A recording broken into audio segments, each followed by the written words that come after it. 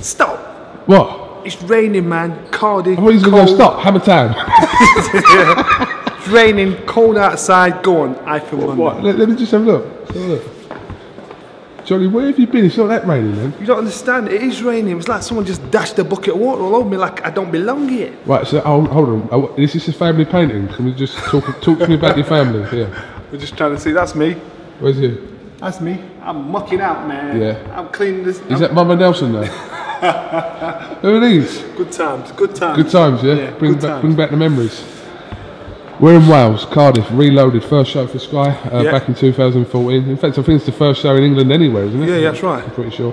Um, Lee Selby, uh, Rendall Munroe, uh, different different stages of their career, totally, aren't they? Lee Selby's on the up, being criticised in his last two performances slightly. Bit flat. Yeah, bit Rendall flat. Munroe's put three wins together to get into this stage now, so, you know, where are they at? I, I'm a big fan of Rendall Munroe's because uh, I like his style. He's been underrated. At time in his, of his career, he reminded me of myself where people just ignored him and thought about everybody else in the mix. I think when his time finally came, it probably came a little too late, uh, so he couldn't take advantage of, of, of his, his, his experience. And again, um, uh, I'd love him to do it. I just think he's up against somebody.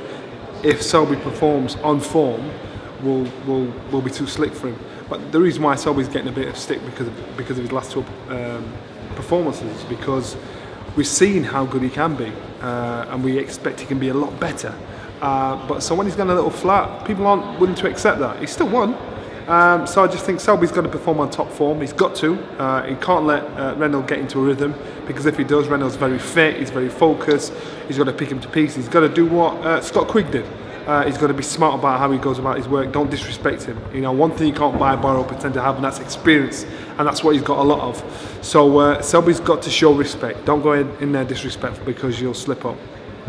Gavin Rees was on Sky uh, ringside just he's saying that you know if he was to lose this fight then that would be it for I him. that, I and that. do you think that's the case? Where else is it for him to go? If he hmm. loses, where can he go?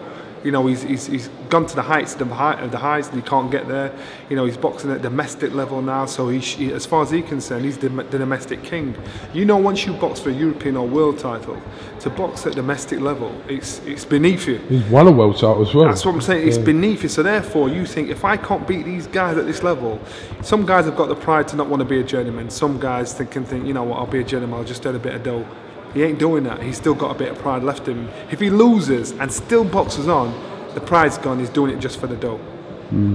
Um, Anthony Joshua probably coming up against his sternest test to date in his fourth professional outing against uh, Dorian Darch, and Dorian Darch has openly stated that he's not going to take a back, a back step. Well, yeah, but you know when he's talking about, he's, he's, he's even when you hear him, he's, he's being very respectful of uh, of Anthony Joshua, you know, and he knows he respects his power, respects what he can do, and he's saying, look, I'm just going to give my all and just keep walking forward. I think that's a worst thing you could possibly do, unless he's strong, fast, and aggressive enough to push Anthony Joshua back.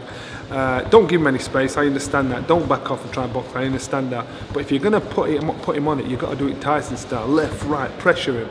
You know, don't get a rhythm about your work. Put you put the guy under pressure. I don't think Darch has got that. I don't think he, that's the kind of fighter he is. He's going to give it his all because you know what, he's on home turf. And the the, the, the thing about this is, uh, for the first time, Anthony Joshua's boxing in the opponent's backyard. So how would he fare when he walks in and they're booing him and they're jeering him? Because you know the Wales crowd, they're, they're, they're a good strong crowd. I can remember being here in 1995 when Naz boxed um, um, for the world title. And, and when he boxed, it was absolute. Steve Robinson, he was absolutely packed out. He was banging down the rain. We were getting pelted with coins and everything. It's a good night, but you know what? They are very. Uh, they support their own, big time. You know, I'm not one to cause trouble. Yeah. You know that, don't you? I don't That's, like how, that's how you roll. stir it up. No, but I've just been talking to your man, Which one? Glenn. Right? No, hold on, hold on, hold on. I've been talking to Glenn. He's been slagging you off. no, seriously, yeah. I interviewed him, right? He was talking about denim on denim. Yeah, Johnny's shiny, shiny head, receding hairline. He's talking about all kinds of shit. You got to be able to float it. If you can't float it, be a goat, be a follower like Glenn. The man's still dressing like it's 1962. He's talking about 85-15 split as well if you two fight. He won't fight. He's, he, what he's done No, 90, no, 95-5 in his favour. He's going to be three smart like George Groves did. Three smart. That's what Brendan calls it. You're too smart. You outsmart yourself. That's what Glenn's doing. I'm telling you now. Glenn's talked him. Talk, he's signed. He's written a check for his body that he can't cash. He's talking himself into fighting me. Come on, brother. I will kick his old ass. Old furry old ass. Wish. I bet he's got tweed on. I Yeah. bet he's got some tweed. I bet He he's has. got. Some, you see? Yeah. You see? You've Move with the him, time. you? I've not even seen him, just walked in. More with the times. I could walk in, I could feel my way to Glenn. Tweed. Wait, let me see what colour. Some old creased up shirt. Shut up, fool. Glenn, my ass. Just finally, Johnny, talking point in the last 10 days or so is this, uh, it's like an episode of EastEnders, isn't it? Froch and Groves. What's, Well, I had a take on this, and I thought with uh, with George Groves, that George Groves, like it or not, is in the weakest position because at the end of the day, if Carl Froch doesn't fight him, he's still a world champion. Uh, at the end of the day, if Carl Froch fights, goes on and boxes Chavez or somebody else, he will still earn a few million. Where is George Groves going to earn this kind of dough that he's hoping to command from fighting Carl Froch? if it's not Carl Froch. Even if you put him in with Andre Ward, they will not. He will not get offered a seven-figure sum to box Andre Ward. Even if he boxes for the vacant IBF title, he will not get that kind of dough. So if I was George and I thought I really believed I could beat Carl Froch, you know what I'd do? I'd say, come, let's do it. You know, haggle out a deal, haggle out a deal, squeeze it down, grind it down, say, come, let's do it. Put him in a situation where he cannot refuse. And if he does that, then he gets the glory, he gets the dough, and he gets the title. But what, you, what's everybody doing? They're all playing poker. They're all saying, no, I ain't doing that, I ain't doing that, because there's bad feeling there. If I was George and I really believed I could do it, you know what? He thought he was smart, went to the IBF to get a ruling to see what percentage he could get. He said he wanted X amount. They offered him, he got offered a seven figure uh, sum. The IBF said you're on an 85, 15% split. Oops. Big slip up. Now they can say, yo, here you go. Unless he goes to purse bids. Now, if he goes to purse bids, that's a big gamble because the kind of money they're talking, he's got to he's got to go for purse bids for between 10, 8 and 10 million for the, for the kind of money that he wants. George, wake up, man. Take the fight, then live to fight another day. Sometimes you've got to lose a battle to win a war. Be smart. No disrespect to him because I think he did a cracking job. But I'm just saying, if you really believe in yourself and you'll, and you'll beat uh, Carl Froch, do the smart thing. Get the fight done. Take the fight. Be a hero. Don't be a zero. okay. Um, Right, man. who's rapping? Johnny, I've just come back from America and um, I I saw just, that. Are you got married? What? I saw you with a chick uh, uh, on your uh, on your um, on your, uh, your your Twitter and all that sort of stuff. Who's the girl you were? Or was it just a friend? It's none of your fucking business, that's Hey, what it you is. don't have to swear. No, I can That's swear, man. It's my thing. I can swear. Listen, don't be asking about my my, my, my women, man. It's an emotional situation. No, it's, it's no problem. emotional. But can I just say one thing? sensitive, In. America, yeah, in LA, no one's heard of you. Like they Yeah, don't even know who you are. Yeah, but just remember, in America as well, being 20 stone is handsome. So I don't really give a damn what the Americans say. You know what I mean? If I'm walking down and I'm No, overweight, don't 20 diss. Americans because they love I'm you. just saying. No, I'm just saying. Don't Yeah. diss Americans because a lot of Americans watch this. They love you, Johnny. Listen, Americans, I love you, man. We'll lose some weight off your ass. lose some weight off your ass. You gotta sit down on two seats. When you do a doo doo, it's like a full roll of paper. Come on.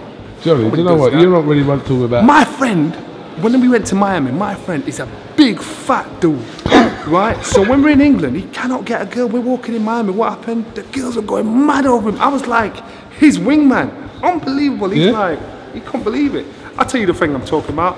Carl the fridge baker. Oh, I remember yeah, Baker. I've exposed you. Baker, went, yeah. went to Miami, they went crazy over me. He couldn't believe it. He's thinking, are they talking to me? I'm like, who's your skinny friend? That's what they're saying to me. Who's your skinny black friend? That's what they're saying to him. And I'm thinking, I was unbelievable. The girls were going mad over him. And they were good looking women. Who's your skinny black friend to him? Wow. And then he opened his mouth with that sweet posh voice. You see, he looks the part until he opens his mouth. You'd never be scared of him. What? Um. All right. Well, listen, Johnny. What are you doing tonight? Whatever you want. Are you staying in? Yeah, I'm staying here, but I'm. Uh, I ain't going out. Are you, are you going out? Out? No. Are you going out, out or no, I'm staying in. Uh, I'm staying in. I've got work to do. Are we not going out? Out? No, I don't do that. You know, I don't do that. I don't do that, man. I, I don't roll like that. You guys are just a bit too wild for me. I, I got work to do. I don't go out. Okay. Kugan Cassius, Johnny Nelson, IFL TV. 11 o'clock. Begun! Shit.